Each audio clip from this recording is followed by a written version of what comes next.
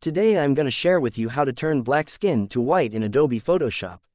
First duplicate the background layer by pressing Ctrl J. Double click on this, and rename it light skin. Select your brush tool from the toolbar, and with a soft round brush, make the brush opacity as 100%, and the flow is 100%. Turn on the quick mask mode to make the selection. Make sure foreground color is black. Let's zoom the image. And just paint on the skin just like that, be careful, don't paint on the eyes, lips, and outside.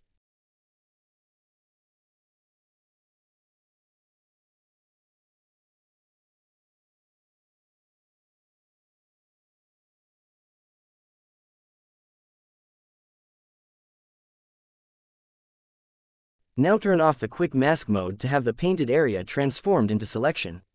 To select inside, go to select, and inverse. Then create a layer mask. Change the blend mode of this layer from normal to screen. Click the FX icon and choose the blending options. Hold the Alt key to split the white slider and black slider of the underlying layer. Click OK once you're satisfied. I'll decrease the opacity to 80%. And that's it, thanks for watching.